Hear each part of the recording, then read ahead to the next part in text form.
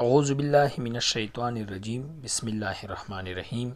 شروع کوم په نام د الله چې ډیر لوی بهون کې او مهربان دی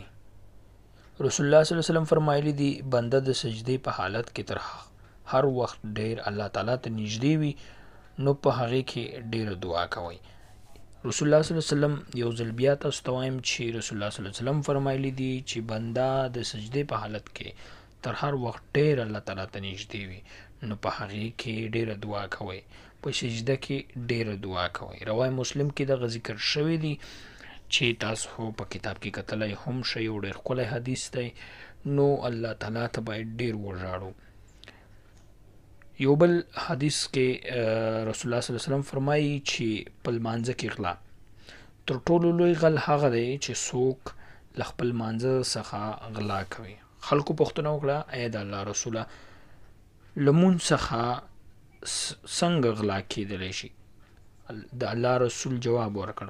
په مونځ کې رکوع او سجده په سمه طریقه سره نه کول د مونځ څخه غلا ګڼل کېږي. نو ملګرو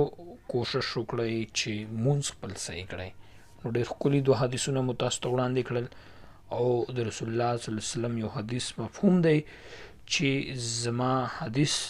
چې چا واورېدو مخکې چا سره شیر کړ نو ډېر غټ ثواب دی پکې